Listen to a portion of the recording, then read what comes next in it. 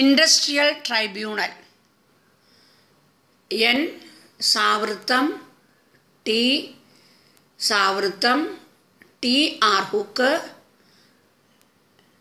B ഹ്രസ്വം പിന്നെ N L hook.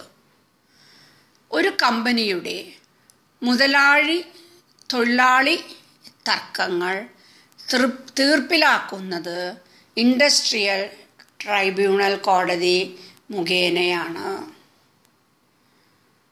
ഒരു കമ്പനിയുടെ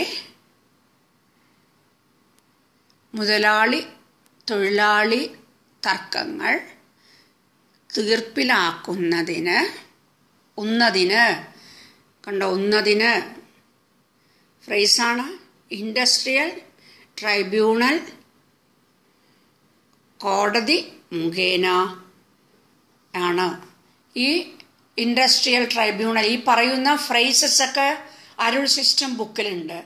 ബാക്കി വാചകങ്ങളെല്ലാം ഞാൻ തയ്യാറാക്കി എഴുതാനാണ് നിങ്ങളുടെ സൗകര്യത്തിന് വേണ്ടി നിങ്ങൾക്ക് എന്നാലേ പറഞ്ഞ് മനസ്സിലാക്കുവാൻ സാധിക്കുകയുള്ളൂ.